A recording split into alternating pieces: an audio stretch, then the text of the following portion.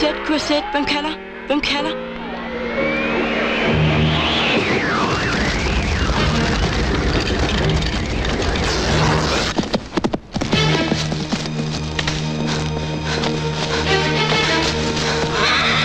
For helvede.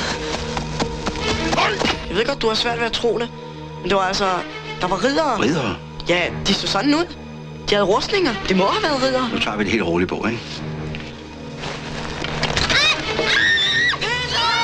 Petra Palmstrøm.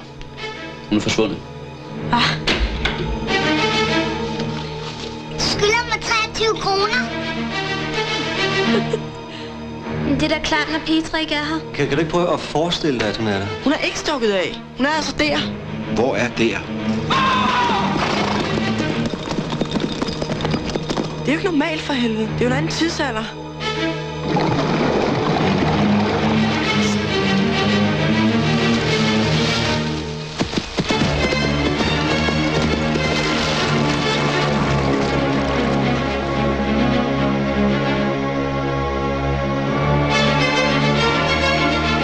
Hvorfor må jeg aldrig være med, når der sker noget?